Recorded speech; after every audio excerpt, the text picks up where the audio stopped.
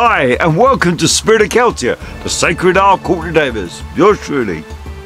So first the recap of my art in 2023, then the completion of ISIS.